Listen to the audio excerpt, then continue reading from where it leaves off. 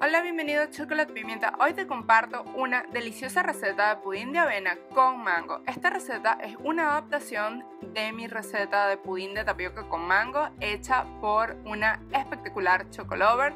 Dorita, hoy comparto con los demás chocolover tu super receta.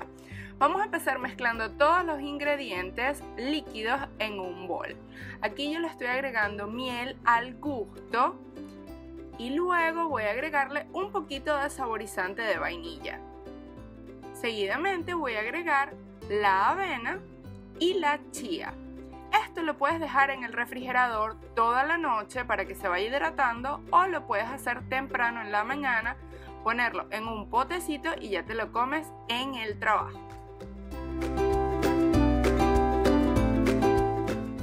Acá te dejo los ingredientes para que hagas este super pudín. Muchas gracias a Dorita por compartir tu adaptación de la receta con nosotros. Les mando un beso. Bye. Pasa por el blog para que veas muchas más recetas.